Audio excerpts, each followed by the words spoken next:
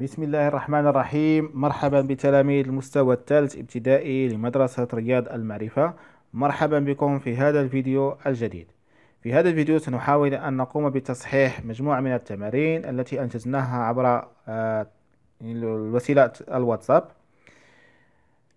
يعني مجموعة من التمارين تتعلق بالعمليات الأرباع ثم يعني إجراء التحويلات من قياس إلى قياس آخر إذا نبدأ على بركة الله بالتمرين الأول إذا التمرين الأول ضع وأنجز يعني كانت لديكم يعني مجموعة من التمارين مكتوبة يعني بالشكل الأفقي الآن لدينا يعني الطريقة الشكل العمودي إذا نبدأ مع العملية الأولى.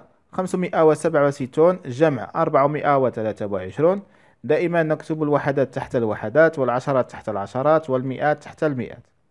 وننطلق مع الوحدات. دائما آه، نبتدئ من الوحدات. هنا سبعة جمع ثلاثة عشرة. أكتب الصفر وأحتفظ بالواحد.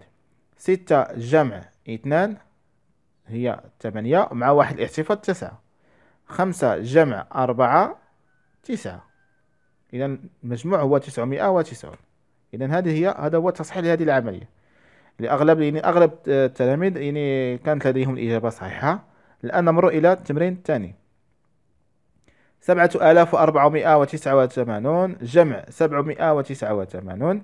إذا هناك نلاحظ بأن العدد الأول مكون من أربعة أرقام اللي هو الوحدات العشرات المئات والآلاف ثم لدينا العدد الثاني مكون من ثلاث أرقام فقط يعني الوحدات والعشرات والمئات. إذا هنا لابد من كتابة الوحدات تحت الوحدات. إذا بعد الكتابة يعني الطريقة العمودية الآن نقوم بإنجاز العملية. تسعة جمع تسعة ثمانية عشر. أكتب ثمانية وأحتفظ بالواحد.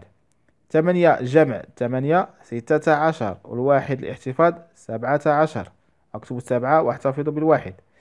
أربعة جمع سبعة إحدى عشر. والواحد الاحتفاظ اثنا عشر. ثم سبعة جمع صفر. هنا هنا لدينا صفر. إذا هي سبعة مع واحد الاحتفاظ هي ثمانية. إذا نتمنى تكون كذلك العملية واضحة. الآن نمر إلى عملية الطرح.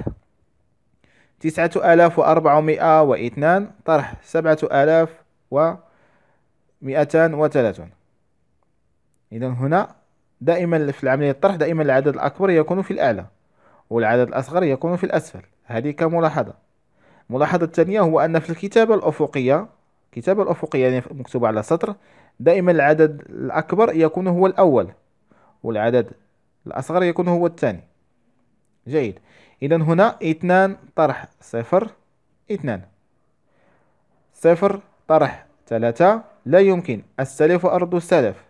إذا هنا عشرة طرح ثلاثة يعني سبعة. وأربعة طرح هنا أصبحت ثلاثة. أربعة طرح ثلاثة. هي واحد. لماذا هنا ثلاثة؟ لأن أستلفنا هنا وردنا السلف. إذا أربعة طرح ثلاثة واحد. تسعة طرح سبعة يعني اثنان. إذا الفرق هو ألفان ومئة واثنان وسبعون. إذا هذا هذا هو تصحيح هذه العملية. بالنسبة للعملية الثانية لدينا أربعة آلاف وخمسمائة وستون طرح خمسة آلاف وخمسمائة وواحد وثمانون.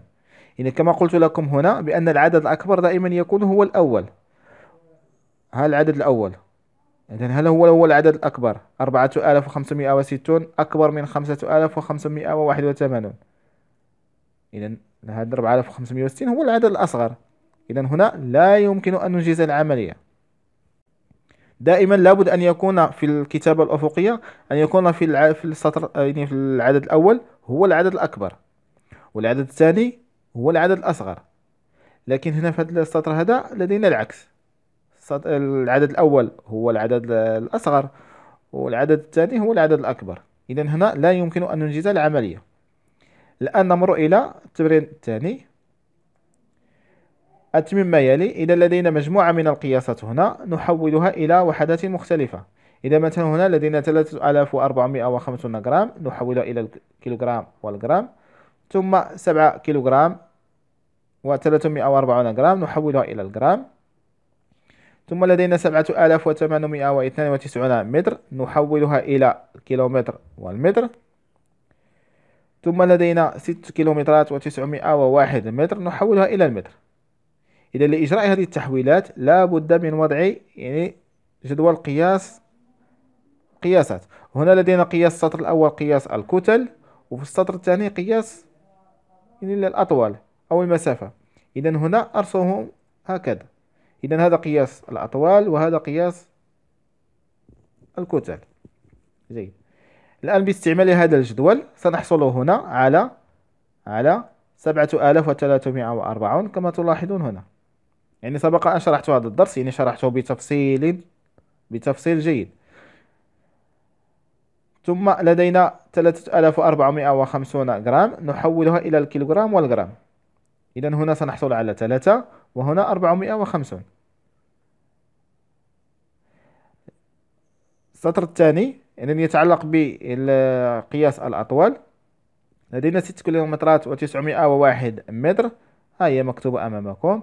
إذا كم تعطينا بالمتر؟ هي 6901 ونكتبها هكذا. ثم لدينا 7892 متر. تساوي كم تساوي بالكيلومتر؟ يعني ها كتلاحظوا أننا كتبناها.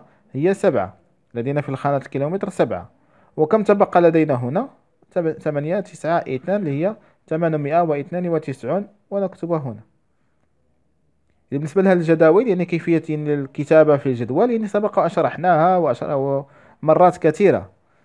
نتمنى تكونوا استفدتوا من هذا الفيديو ومن التمارين. نتلاقوا إن شاء الله في فيديو آخر ودرس آخر. والسلام عليكم ورحمة الله تعالى وبركاته.